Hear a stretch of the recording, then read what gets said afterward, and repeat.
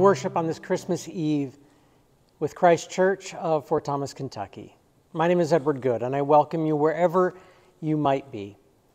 Our guiding statement as a congregation is that we embrace all as we journey the way of Jesus. And so on this Christmas Eve night, we welcome you, we embrace you, whoever you are, wherever you are on life's journey.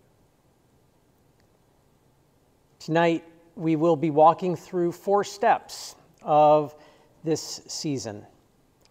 As we have been doing throughout this season of Advent, we have been using a prayer form of await, allow, accept, and attend, based on the words and the wisdom of Julian of Norwich.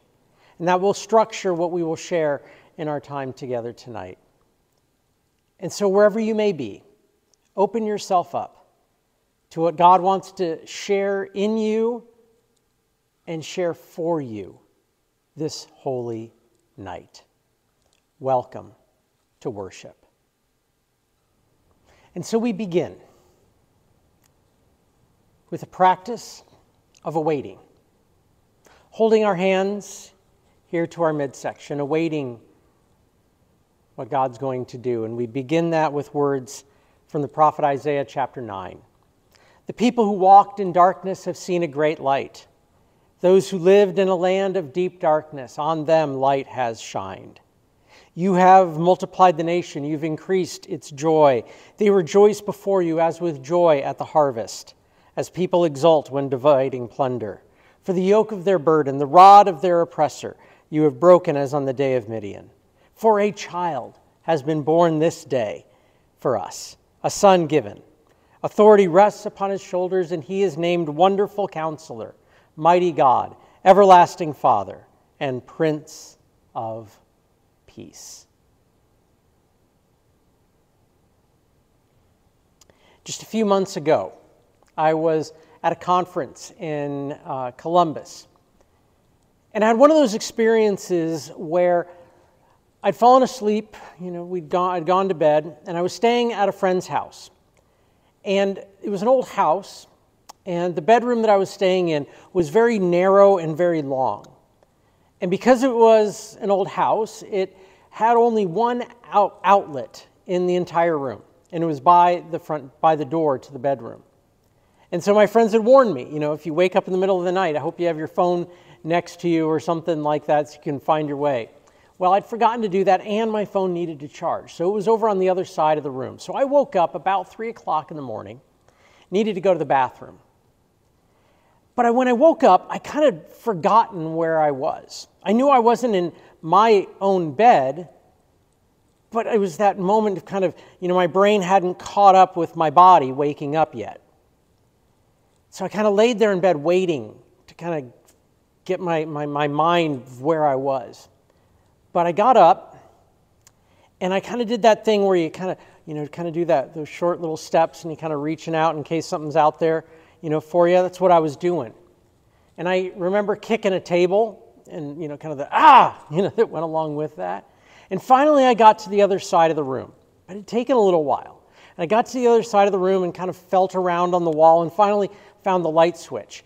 And when I turned on the light, I'd forgotten how bright of bulbs they had in the overhead lamp that they had in the room. And it was like, ah! Just the, the brightness that assaulted me as I woke, as, as the light came on. I was waiting in the darkness, and then I had to wait for a little while to kind of get my eyes adjusted to the light. The people who walked in darkness have seen a great light.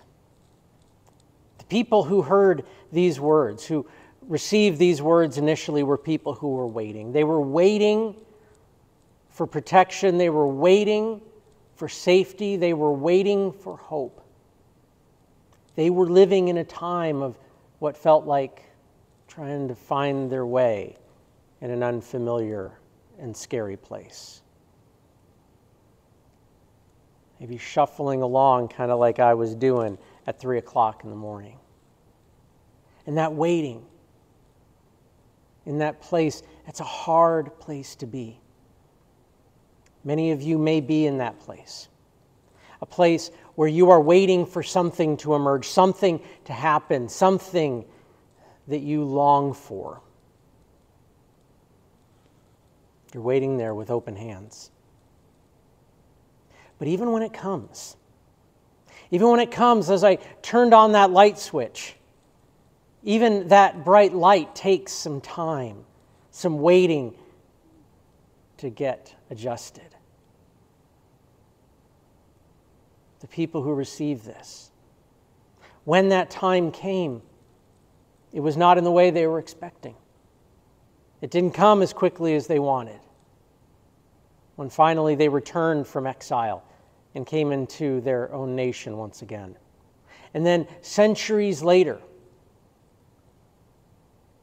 when the word of a Messiah, a Savior, was born, was born not in the way that they expected or that they were ready for, but instead a baby born in a stable. And so we await.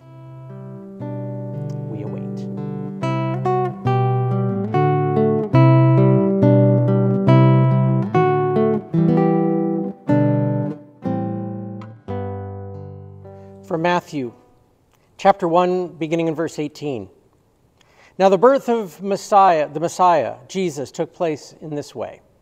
When his mother Mary had been engaged to Joseph, but before they'd been together, she was found to be with child from the Holy Spirit. Her husband Joseph, being a righteous man and unwilling to expose her to public disgrace, planned to dismiss her quietly. But just when he had resolved to do this, an angel of the Lord appeared to him in a dream and said, Joseph, son of David, do not be afraid to take Mary as your wife, for the child conceived in her is from the Holy Spirit. She will bear a son, and you are to name him Jesus, for he will save their pe- his people from their sins. All this took place to fulfill what had been spoken by the Lord through the prophet. And when Joseph awoke from sleep, he did as the angel of the Lord commanded him, and he took her as his wife, but had no marital relations with her until she had borne a son and named him Jesus. And then from Luke chapter 1, we read the story of Mary. In the sixth month, an angel Gabriel, named Gabriel, was sent by God to a town in Galilee called Nazareth, to a young woman, to a virgin engaged to a man whose name was Joseph of the house of David, and her name was Mary. And he came to her and said, Greetings, favored one, the Lord is with you. But she was very perplexed at his words and pondered what it might mean. And the angel said to her, Do not be afraid, Mary, for you have found favor with God. And now you will conceive in your womb and bear a son, and you will name him Jesus, for he will be great, will be called a son of the Most High, and the Lord God will give to him the throne of his ancestor David. He will reign over the house of Jacob forever, and his kingdom will have no end. Mary said to the angel, How can this be? For I am a virgin. The angel said to her, The Lord will come upon you, the Holy Spirit, and the power of the Most High will overshadow you, and therefore the child to be born will be holy, will be called the Son of God. And then Mary said to her, Mary said, Here am I, the servant of the Lord. Let it be with me according to your word. And then the angel departed from her. And so we started with a waiting. But then the next part of prayer is allowing, it's reaching our arms up above our heads. And as I've shared a couple times with this part of the prayer practice, sometimes when I do this, I think of a, of a, of a little child reaching up to a caregiver, to a parent, to a grandparent, waiting to be picked up, maybe to be carried somewhere, maybe just to be comforted, to be held. Those arms reaching up, and then that, that parent, that caregiver reaches down, maybe under the armpits, and pulls that child up and holds them close. But I got to admit, there's another thing that comes to my mind when doing this, which is I got to be on my guard. Because in my house, there's this thing that happens sometimes called a pit viper. I don't know if you've ever heard of it. But let's say I'm reaching up to get something out of the top shelf in our kitchen cabinet. And as someone walks by, they might walk by and go, poking me right in the armpit, right? And there's that, ah, right? That's called a pit viper in our house. And so, this action of allowing is, is not only a sense of expectation, but it's also it's an act of vulnerability. It's an act of I am going to trust even though I'm exposed. Both Mary and Joseph have this experience. These stories that we heard of them are stories of allowing, of allowing God to take them and use them as God desires. And with both of them, God promises that God's going to take care of them, but there's got to be a little bit of vulnerability and fear for both of them. For Joseph, you know, he talks initially, it talks about how he was going to divorce her quietly. Joseph knew what was going to be said about her and about him and about them. But then the Lord intervenes with this new command, and Joseph agrees to do it, knowing that there will be consequences, knowing what might be ahead. And for Mary, the same. Mary, Trusting, yes, let it be to me according to your word. Here I am, the servant of the Lord. Right? That's a beautiful statement of, yes, I'm going to trust what you're going to do, Lord. But she's vulnerable, she's exposed. And maybe that's why, right after this, we read how Mary went to go be with her sister Elizabeth, who herself was having a miraculous gift of a pregnancy. Maybe not just to be together, but to go for a place of protection, away from the rumors and the whispers and all that would have been said about her. And so when we come to this point of prayer in, in, in our faith lives and we lift our arms up and in, in allowing God to do God's work, yes, it is an act of trust. Trusting that while we are exposed, while we are vulnerable, that God's got us. That God's got us. Just as God did for Mary and for Joseph. We await and we allow.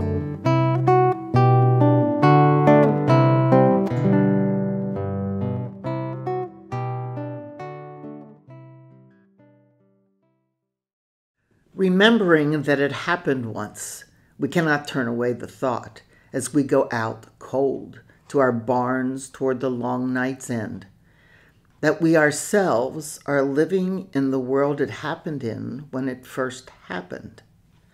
That we ourselves, opening a stall, a latch thrown open countless times before, might find them breathing there.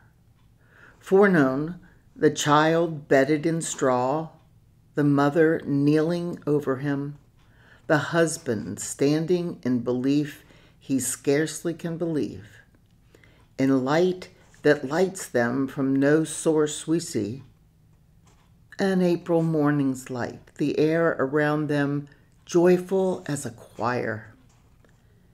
We stand with one hand on the door, looking into another world that is this world.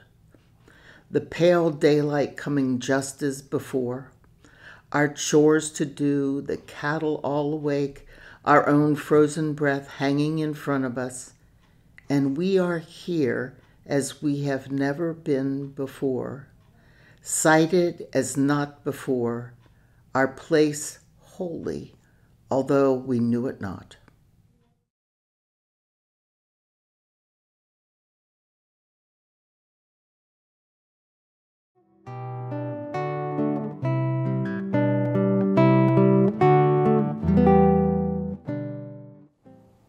As the Christ candle is now lit. Our act of accepting, so we await, we allow, and we accept, is an affirmation of faith. Accepting what God has done and affirming our belief in it. And so we believe in God whose light shines in the darkness, and the darkness can never smother it. We believe that on a night like this in Bethlehem, there was born a Savior who is Christ the Lord. We believe in the Word who's become incarnate, our very flesh and blood, yet full of grace and truth. We believe in the blessed appearing of the salvation of our God that is for the happiness of all people. We believe in the Savior's name to be Wonderful Counselor, Mighty God, Everlasting Father, Prince of Peace, Jesus. Of the increase of his rule and his unique peace, there will be no end, and the zeal of the Lord of hosts will do this. Amen. So we await, we allow, we accept, and now we attend as we hear the words from Luke chapter 2. In those days, a decree went out from Emperor Augustus that all the world should be registered. This was the first registration and was taken while Quirinius was governor of Syria. All went to their own towns to be registered, and Joseph also went from the town of Nazareth in Galilee to the city of David called Bethlehem, because he was descended from the house and lineage of David. And he went to be registered with Mary, to whom he was engaged and who was expecting a child. And while they were there, the time came for her to deliver her child. And she gave birth to her firstborn son and wrapped him in bands of cloth and laid him in a manger because there was no place for them in the inn. In that region, there were shepherds living in the fields, keeping watch over their flock by night. And then an angel of the Lord stood before them, and the glory of the Lord shone around them, and they were terrified. But the angel said to them, Do not be afraid. For see, I am bringing good news of great joy to all the people. For to you is born this day in the city of David a Savior, who is Christ the Lord. This will be a sign for you. You will find a child wrapped in bands of cloth and lying in a manger.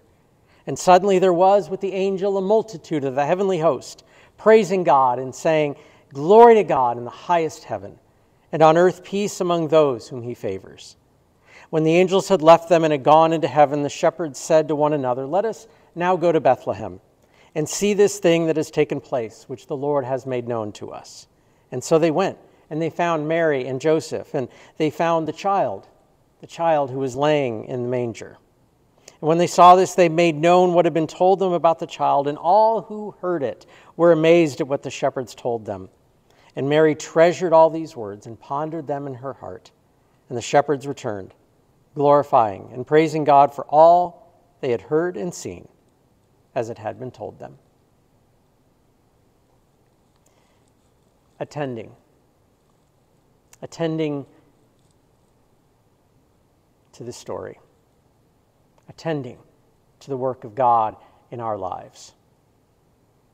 That's what comes to me as we come to the conclusion of this time together. And I think of building a fire. Now, I have to tell you, in my family, I'm not the one who's usually asked to build a fire, whether it's in the fireplace or in our fire pit. I have this tendency to want to just kind of like put a bunch of wood, throw some lighter fluid on, and just throw in a match. But like my, my youngest, who's a scout, and my wife, who also was a Girl Scout growing up, they know how to really build a fire. You know, just getting the, the, the, little bits of kindling and that tiny little, you know, get that spark and, and to nurture and attend that tiniest little fire, to blow on it just right to kind of keep it going but not blowing it out. To slowly attend to that to where it can slowly get bigger and bigger until it becomes the fire that you are hoping it to be. When I think of this final act of attending, that's what I think of.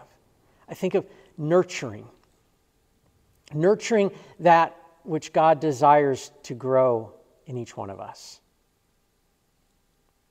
I think of how, in this Christmas story, God took what were seemingly insignificant people, Mary and Joseph, and bore the Christ child through them. I think of shepherds in the fields, these people who were forgotten generally, ignored by most of society as they did their work outside of town, and yet the story came to them. And that they were the first to go out and to tell and praise for what they had seen. They were the first to tell the story. And so these seemingly insignificant people in the grand scheme are the people from whom the story emerges and it grows. So that's my encouragement for you tonight. To allow God to fan the flame of God's love, God's truth, and God's hope in you. And it's not just simply waiting for something else to happen outside of you, it is something that we do ourselves and with others to fan that flame. And so, just like these actions we've talked about tonight of awaiting and allowing and accepting, attending calls us to action, to attend to the life of faith that God desires in you, and for the love and the hope and the truth for us to share with others. So we receive all of this story tonight. But may we be like the shepherds who hear this story and they go to share. Merry Christmas to you on this holy night. Grace and peace and love and joy be with you. Amen.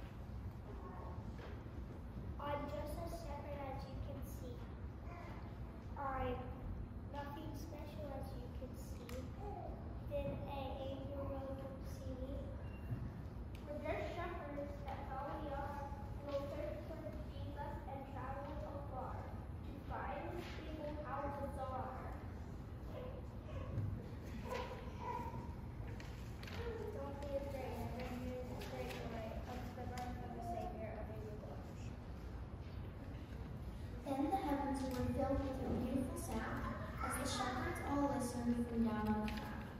A choir of angels sang up in the sky, praises of glory God to God up on high. After the angels gave them a shock, the shepherds all gathered around by their flock. And one of them started to wonder aloud why he had been chosen, not somebody proud.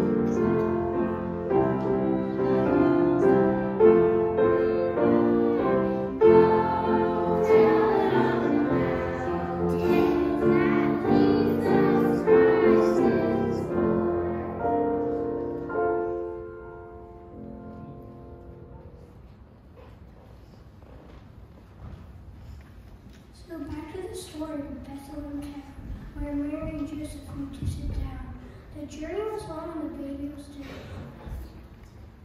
So they looked Mary and do. They spoke to an inn- innkeeper named Carl Willett. Uh, he had no rooms where they could go stay. The innkeeper offered to feed so they could sleep with the donkey and cows and, and a couple of sheep. Mary and Joseph, Mary and Joseph did as he said.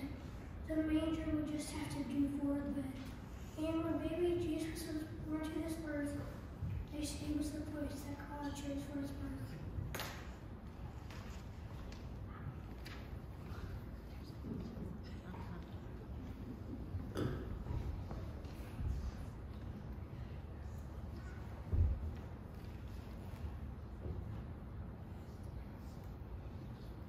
Very soon after, the shepherds appeared the lamb as a gift. Let's face it, that's weird. They couldn't bring money in large They they.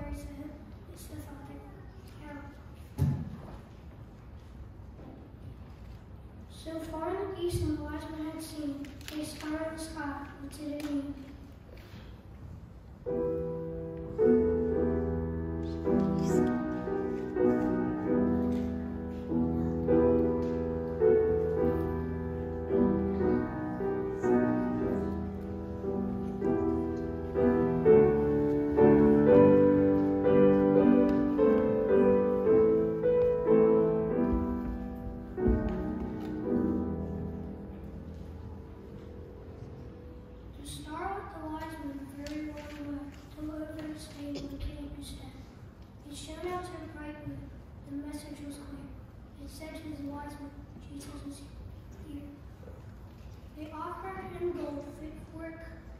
None of them knew what to bring. One brought myrrh, a bit like incense. The other brought something called frankincense. Now it seems that our story has come to an end, but let's not forget that the story extends. For Jesus is here for all through, for all through the year. So let's give our Savior a wonderful cheer.